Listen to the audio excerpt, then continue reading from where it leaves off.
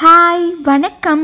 இன்றைக்கி நம்ம சேனலில் iRobot Roomba smart vacuum கிளீனரோட ரிவ்யூ தான் பார்க்க போகிறேங்க நான் வந்து iRobot Roomba eight hundred series வந்து வச்சுருக்கேங்க. இதனோட ப்ரோஸ் அண்ட் கான்ஸ் என்னென்ன அப்படிங்கிறதெல்லாம் நம்ம ஃபஸ்ட்டு பார்த்துடலாம். ஃபஸ்ட்டு இதனோட ப்ரோஸ் அட்வான்டேஜஸ்லாம் என்னென்ன? இதனோட நல்ல விஷயங்களை பற்றி ஃபஸ்ட்டு பார்த்துடலாம். இதை நான் ஃபஸ்ட்டு வந்து கிச்சன் ரூம்லேருந்து தான் ஆரம்பிக்கிறேன். என் ஆண்ட்ரி வந்து இது க்ளீன் பண்ணுது. நல்லா கார்னர்லாம் போய் நல்லா தான் க்ளீன் பண்ணுது. கார்லிக்கோட குப்பை வந்து இருக்குது. அதை எடுத்துடுச்சு. அதுவே ஆட்டோமேட்டிக்காக வந்து பேண்ட்ரி முடிச்சுட்டு இப்போ கிச்சனுக்கு போயிடுச்சுங்க இதனோட பேட்டர்ன் பார்த்தீங்கன்னா ரேண்டமாக வந்து போகாது. ஃபஸ்ட்டு வந்து எல் ஷேப் மாதிரி போயிட்டு அப்புறம் ட்ரையாங்கிள் மாதிரி போயிட்டு திருப்பி ஒரு எல் ஷேப் மாதிரி போகும். ஸோ வந்து நமக்கு பார்க்க போது ஜிக்ஸாக் அந்த பேட்டர்னில் வந்து அது போய் க்ளீன் பண்ணுற மாதிரி நமக்கு தெரியும்.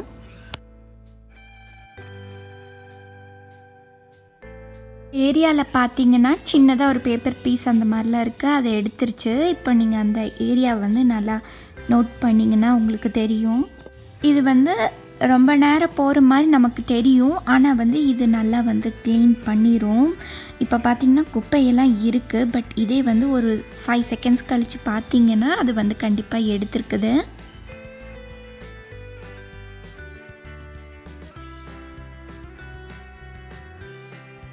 கிச்சனை விட்டு இப்போ டைனிங் போயிடுச்சு. டைனிங்கில் பார்த்திங்கன்னா நிறைய சேர்ஸ்லாம் போட்டிருக்கோம். ஆனால் அந்த சேருக்கு அடியிலையும் வந்து இது போயிடுது நல்லா போய் நல்லா க்ளீன் பண்ணிவிட்டு ஈஸியாக வெளியே வந்துடும் அதுக்கு சர்டைன் ஸ்பேஸ் இருந்தால் போதும். அது நுழையிற அளவுக்கு அதுக்கு கேப் இருந்தால் அந்த இடத்த போயிடும். இல்லை அது நுழையிறக்கு கேப் இல்லைன்னா அந்த இடத்த அந்த இடத்துல போய் டச் பண்ணிவிட்டு டக்குன்னு திரும்பி வந்துடும் இங்கே பாப்பாவோட பலூன் வந்து இருக்குது. இந்த மாதிரி டாய்ஸு பலூன் இந்த மாதிரி கொஞ்சம் இந்த மாதிரி ஆப்ஜெக்ட்ஸ்லாம் இருந்ததுன்னா இது அப்படியே தள்ளிட்டு போயிடும். இல்லை ரொம்ப ரொம்ப சின்ன ஐட்டம்ஸ் அந்த மாதிரி இருந்தால் அது வந்து எடுத்துரும். அதையும் சேர்த்து எடுத்துரும். நம்ம குப்பையை கொட்டும் போது நம்ம அந்த டாய்ஸையும் உட்காந்து பொறுக்கணும். ஆனால் அதை வந்து நான் கான்ஸில் சொல்லலான்னு இருந்தேன். பட் இப்போ வந்து பலூன் வந்ததுனால நான் வந்து நடுவுலையே சொல்கிறேன் உங்களுக்கு டிஸ்அட்வான்டேஜ்லேயும் நான் வந்து இதை மென்ஷன் பண்ணுறேன் உங்களுக்கு திருப்பியும். இந்த இடத்துல பார்த்தீங்கன்னா எங்கள் சோஃபா கடியில் அதனால் போக முடியாது. ஏன்னா ரொம்ப ரொம்ப சின்ன கேப் தான் இருக்குது. அதனால் அதனால் அது போக முடியாது. அதனால் அதை ஒட்டி அப்படியே போய் க்ளீன் பண்ணிடுது சைடில் புகுந்து போகிற அளவுக்கு ஸ்பேஸ் இருந்தால் தான் வந்து எந்த ஒரு சோஃபா ஆகட்டும் சேர் ஆகட்டுமே அடியில் வந்து போகும். இல்லைன்னா வந்து போகாது. கலரில் ரூம்பான்னு சொல்லி எழுதி ஹேண்டில் மாதிரி ஒன்று இருக்குல்லங்க. அதை பிடிச்சி நீங்கள் வந்து இதை கேரி பண்ணிக்கலாம். இதை எடுத்துகிட்டு போய் நீங்கள் வேறு ரூம்ஸ்க்கு கூட வச்சு ஆன் பண்ணி விட்டுடலாம் இப்போ வந்து இது ஹால் க்ளீன் பண்ண வந்துடுச்சு. பக்கத்துலேயே பார்த்தீங்கன்னா ஹாலில் ஃபயர் பிளேஸ் இருக்குது. அதில் கிரானைட் போட்டிருக்கு. அதனால் பார்த்தீங்கன்னா அது வந்து ஏறிடுது. கார்பெட்லேருந்து டைரெக்டாக வந்து மேலே ஏறிடுது. இது பார்த்திங்கன்னா உட்லேருந்து கார்பெட்டுக்கு போயிடும். கார்பெட்லேருந்து ரக் மேலே ஏறிடும். அப்புறம் அப்படியே வந்து இந்த ஃபயர் பிளேஸ் இல்லை இந்த கிரானைட் மேலேயும் வந்து அப்படியே ஈஸியாக ஏறிட்டு அதுவே இறங்கிடும்.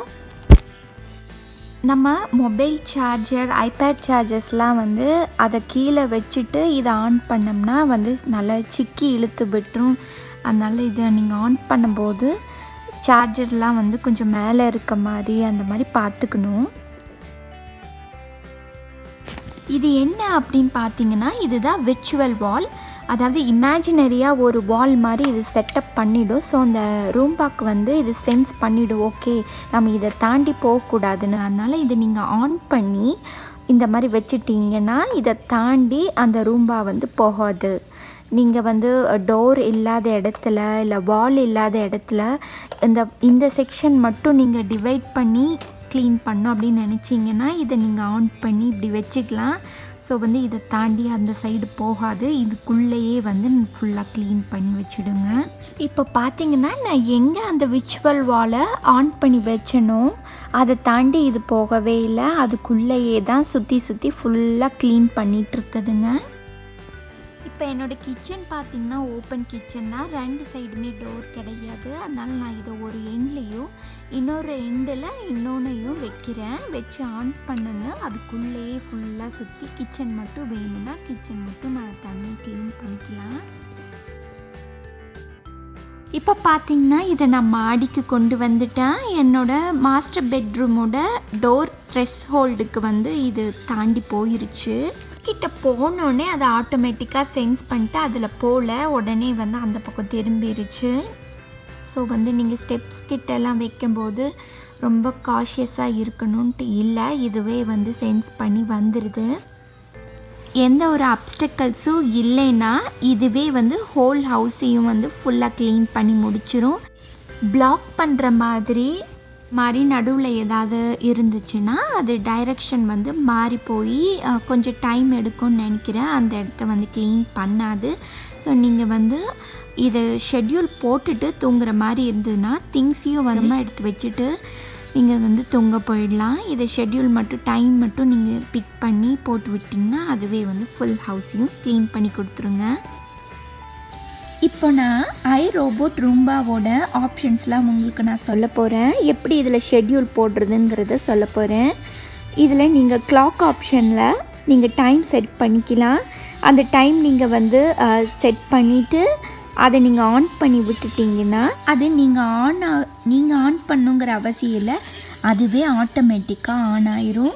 நீங்கள் வந்து அப்போ வீட்டில் இல்லாத போது கூட நீங்கள் வெளியே போயிட்டால் கூட டெய்லியும் அதே டைமுக்கு இது ஆட்டோமேட்டிக்காக ஆன் ஆகி வீடு ஃபுல்லாக க்ளீன் பண்ணிடும்.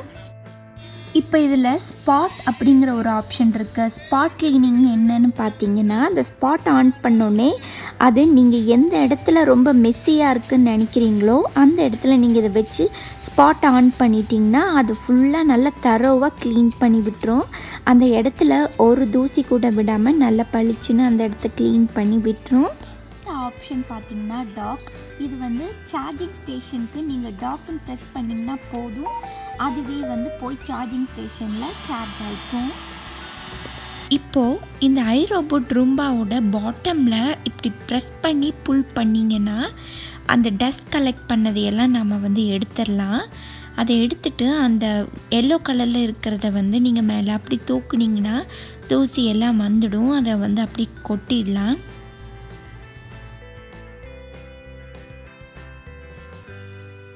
அதுக்கப்புறம் இதில் ஃபில்டர் இருக்குது. அதையும் நீங்கள் க்ளீன் பண்ணணும். நாங்கள் எப்படி இதை க்ளீன் பண்ணுறோம்னா டஸ்டர்னு ஒன்று நாங்கள் வச்சுருக்கோம். இது காஸ்கோவில் நாங்கள் வாங்கினோம். இது வந்து கம்ப்ரெஸ்ட் ஏர் தான். இதில் ஒன்றும் இல்லைங்க. இதை நீங்கள் ப்ரெஸ் பண்ணிங்கன்னா நல்லா ஃபோர்ஸாக ஏர் வர்றதுனால உங்களுக்கு வந்து சீக்கிரமாக இந்த ஃபில்டரில் ஒட்டியிருக்க தூசி இதெல்லாம் வந்து வந்துடும் இந்த விர்ச்சுவல் வால்க்கு ரெண்டு பிக் பேட்ரிஸ் இருக்குது. அது வந்து ஒன் பாயிண்ட் ஃபைவ் வோல்ட்ஸ் இதை பார்த்தீங்கன்னா நீங்கள் வந்து யூஸ் பண்ணிவிட்டு ஆஃப் பண்ணி வச்சிடணும். இல்லைன்னா நமக்கு சீக்கிரம் வந்து பேட்ரி குறைஞ்சி போயிடும். இதனோட டிஸ்அட்வான்டேஜஸ் என்னென்ன அப்படிங்கிறத நாம் இப்போ பார்க்கலாம். இது வந்து நூக் அண்ட் கார்னருக்கெல்லாம் போய் க்ளீன் பண்ணாது. நாம் அதை வந்து ஹேண்ட் வேக்யூம் கிளீனர் வச்சு தான் நம்ம பண்ணணுங்க. அடுத்த விஷயம் என்னென்னா நீங்கள் எங்கேருந்து வேணாலும் டாக் ஆப்ஷன் வந்து நீங்கள் போட்டுக்கலாம் ஆனால் வந்து அப்படி பண்ண முடியாது. ஏன்னா வந்து இது எங்கேருந்து வேணாலும் நீங்கள் ப்ரெஸ் பண்ணால் பாதி வழியிலே போய் நின்று சவுண்ட் மேக் பண்ணும். நாம் தான் கொண்டு போய் சார்ஜிங் ஸ்டேஷனில் கொண்டு போய் வைக்கணும். அதனால் சார்ஜிங் ஸ்டேஷனுக்கு கிட்ட இருக்கும்போது தான் டாக்குன்னு போட்டால் அது போய்க்கும். மற்றபடி வந்து இது போகாது. சின்ன சின்ன டாய்ஸோ இல்லை வேறு ஏதாவது சின்ன ஐட்டம் இருந்தாலோ இது வந்து எடுத்துரும். குழந்தைங்க டாய்ஸ்லாம் வந்து நிறையா வந்து சின்ன பீசஸ்லாம் இருந்ததுன்னா அதையும் இது வந்து குப்பையோட குப்பையாக எடுத்துரும் ஸோ நாம் வந்து க்ளீன் பண்ணி போடும்போது நம்ம அதையும் சேர்த்தி எடுத்துட்ருக்கணும். அதுக்கப்புறம் பார்த்திங்கன்னா சார்ஜிங் ஒயர்ஸ்லாம் வந்து இது நல்லா பிடிச்சி இழுத்து விட்டுரும். இப்போ இழு ஃபோர்ஸாக இழுக்கும்போது அந்த ஒயர்ஸ் வந்து பிஞ்சு போகிறதுக்கு நமக்கு சான்சஸ் இருக்குது. அதுக்கப்புறம் நல்ல ஹைட் இல்லாத அந்த சேர் கவுச்சஸ்ல எல்லாம் போய் இது நல்லா சிக்கிக்கும். நான் காமிச்சிருப்பேன் உங்களுக்கு என்னோடய டைனிங் டேபிளோட சேர்ஸோட ஹைட் வந்து கொஞ்சம் பெருசு. அது உள்ளே போகிற அளவுக்கு ஸ்பேஸ் இருந்தது. அதனால் உள்ளே போயிட்டு வெளியே வந்துடுச்சு ஆனால் எங்கள் கவுச்சில் ஸ்பேஸ் வந்து அதுக்கு இல்லை. அதனால் அது பாதி மட்டும் போய் நின்றுக்கும் ஸ்டக் ஆகிக்கும் அதுக்கப்புறம் நாம் தான் வந்து எடுத்து விடணும். ஸோ அந்த மாதிரி இடத்துல வந்து இது கண்டிப்பாக போகாது மாட்டிக்கும் அவ்வளோதான் நாம் இதனோட ப்ரோஸ் கான்ஸ் எல்லாமே பார்த்தாச்சு. நீங்கள் இந்த மாதிரி ஸ்மார்ட் வேக்யூம் கிளீனர் வாங்குறீங்க அப்படிங்கிற ஒரு ஐடியாவில் இருந்தீங்கன்னா முக்கியமாக வந்து நீங்கள் மூணு விஷயத்தை கவனிக்கணும். ஒன்று வந்து ரிவ்யூஸ் கண்டிப்பாக பார்த்து வாங்குங்க. இது- அவ்வளோதான் இந்த வீடியோ முடிஞ்சது. உங்களுக்கு யூஸ்ஃபுல்லாக இருந்திருக்கும்னு நினைக்கிறேன். இது மாதிரி நிறையா வீடியோஸ் பார்க்க நம்ம சேனலை சப்ஸ்கிரைப் பண்ணுங்கள் இந்த வீடியோ பிடிச்சிருந்தா லைக் பண்ணுங்கள் ஷேர் பண்ணுங்கள் கமெண்ட் பண்ணுங்கள் தேங்க்யூ தேங்க்ஸ் ஃபார் வாட்சிங் பாய் டேக் கேர்